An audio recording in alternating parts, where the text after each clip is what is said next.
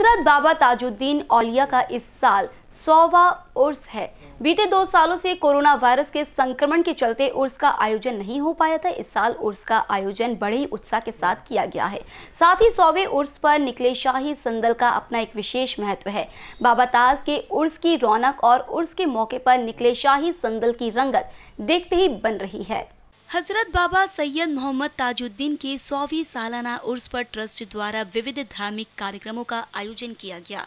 उसी श्रृंखला में आज निकले शाही संदल की रौनक देखते ही बन रही थी। इस दौरान ट्रस्ट के चेयरमैन प्यारे खान द्वारा आने वाले सभी श्रद्धालुओं का स्वागत करते हुए सौवीं सालाना उर्स की शुभेच्छा दी गई। साथ ही श्रद्धालु के लिए ट्रस्ट द्वारा किए गए सुविधाओं की जानकारी भी प्यारे खान द्वारा दी गई।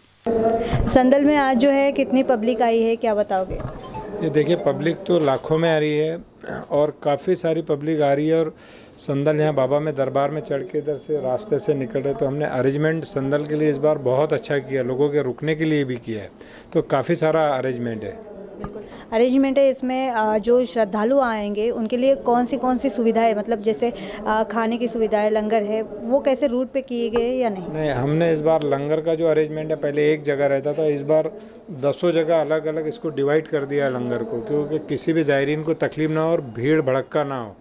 और ज़ायरीन इतने ज़्यादा है, श्रद्धालु इतने ज़्यादा है, कि उनके लिए हमने अलग अलग अलग अलग अरेंजमेंट किए हैं, कि किसी को भी किसी प्रकार की तकलीफ़ ना हो और एक जगह भीड़ ना हो।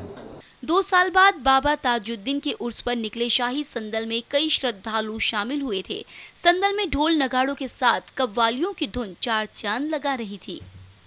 हज़रत बाबा ताजुद्दीन औलिया का इस साल सौवा उर्स है और बीते दो सालों से कोरोना के चलते ये उर्स नहीं हो पाया था उर्स का आयोजन नहीं हो पा हो पाया था इसलिए एक लंबे अरसे के बाद जो है इस साल उर्स का आयोजन किया गया है। नागपुर शहर में बाबा ताज के उर्स की रौनक और उर्स के मौके पर निकले शाही संदल की रंगत देखते ही बंद रही है।